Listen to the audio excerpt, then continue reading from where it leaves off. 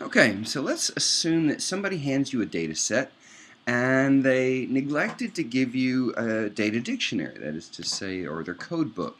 So you really have no idea what the categorical variables, or the numeric uh, values of the categorical variables mean. So we see we have sex here and we have 0, 1. Well, okay, we can pretty much assume those are male and female, but we have no idea what's which one's male, which one's female. I'm going to show you two ways to check to see um, what these uh, values actually mean for your categorical variables. We have the same thing for race.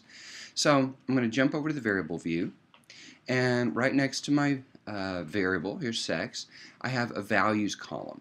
Well, if I click on that uh, uh column, um, up's going to pop the value labels box. Now this is how, if you're building a data set, you're going to define what uh, the various uh, numeric values for categorical variables mean.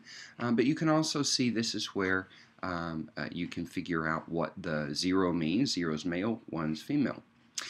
Another way to tell is in the data view, you can go up, so you see this little button that has the A and the 1. If you click on that, it's going to toggle to over to the value labels. So here I can see that my zeros were male, all right, and my uh, ones were female. Same with race.